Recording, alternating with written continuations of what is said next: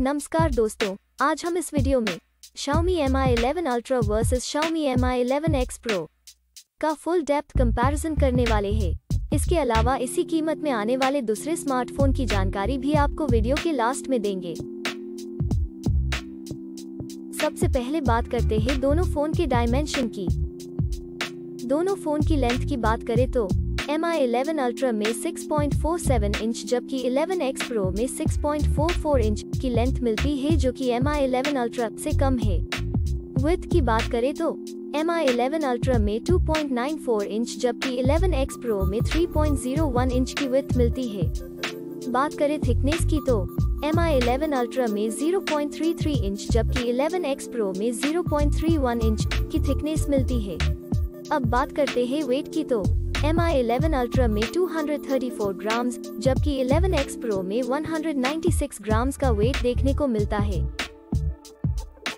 तो चलिए अब हम डिस्प्ले को कंपेयर करते हैं। डिस्प्ले टाइप की बात करें तो दोनों फ़ोन में सेम ही। AMOLED की डिस्प्ले मिलती है। एस्पेक्ट रेशियो दोनों फ़ोन में सेम ही। 20 रेशियो 9 मिलता है। डिस्प्ले साइज़ की बात करें तो Mi 11 Ultra में 6.81 इंचेस जबकि 11X Pro में 6.67 इंचेस मिलती है।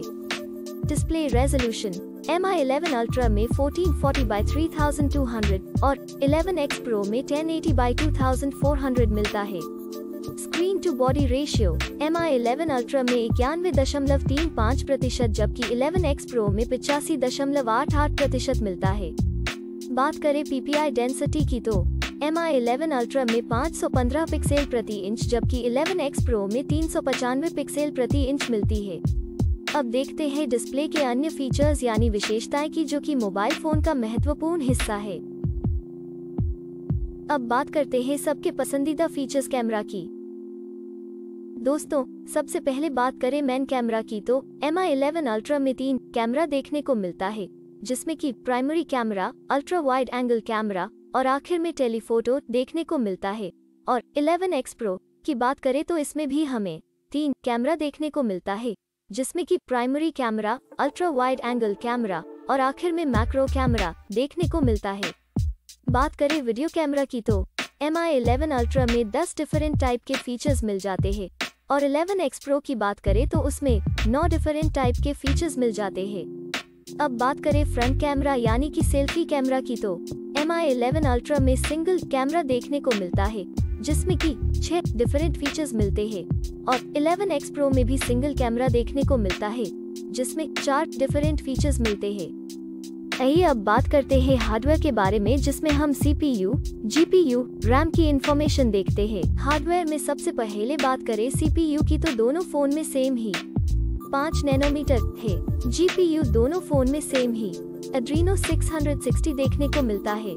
चिपसेट दोनों फ़ोन में सेम ही। क्वालकॉम स्नैपड्रैगन 888 मिलता है। बात करें रैम की तो। एम आई 11 अल्ट्रा में 12 गीगाबाइट की रैम मिलती है, जबकि 11X Pro में दो वेरिएंट देखने को मिलता है। जिसमें 8 गीगाबाइट 8 गीगाबाइट रैम मिल जाती है। बात करें इंटरनल मेमोरी जिसको हम स्टोरेज भी कहते हैं वो। एम आई इलेवन अल्ट्रा में दो गीगाबाइट की स्टोरेज मिलती है, जबकि 11X प्रो में दो वेरिएंट देखने को मिलता है, जिसमें 128 गीगाबाइट दो गीगाबाइट स्टोरेज मिल जाती है। एक्सपैंडेबल मेमोरी दोनों फ़ोन में नहीं है। ऑपरेटिंग सिस्टम दोनों फ़ोन में। एंड्रॉइड V11 देखने को मिलती है। Battery M I eleven ultra में 5000 mAh जबकि 11X Pro में 4520 mAh देखने को मिलती है। आइए अब मेन फीचर को देखते हैं।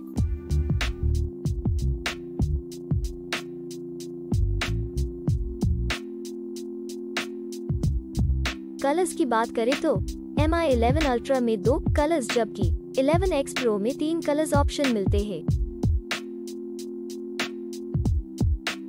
सब इन्फॉर्मेशन देखने के बाद बात करें प्राइस की तो एम आई 11 अल्ट्रा में एक ही वेरिएंट देखने को मिलता है, जो कि 12 गीगाबाइट रैम दो गीगाबाइट स्टोरेज के साथ उनहत्तर हज़ार नौ सौ निन्यानवे रुपीस में मिल जाता है। वही अगर बात करें 11X Pro की तो उसमें दो वेरिएंट देखने को मिलते हैं, जो कि 8 गीगाबाइट रैम 128 गीगाबाइट स्टोरेज के साथ उनतालीस हज़ार चार सौ निन्यानवे रुपीस आठ गीगाबाइट रैम दो सौ छप्पन गीगाबाइट स्टोरेज के साथ चौंतीस हज़ार नौ सौ निन्यानवे रुपीस में मिलते हैं।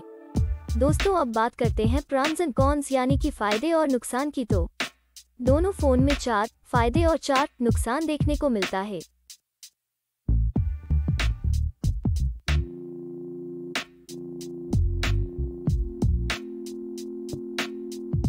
फाइनली बात करें है रिज़ल्ट की तो डिस्प्ले में दोनों फ़ोन सेम ही है।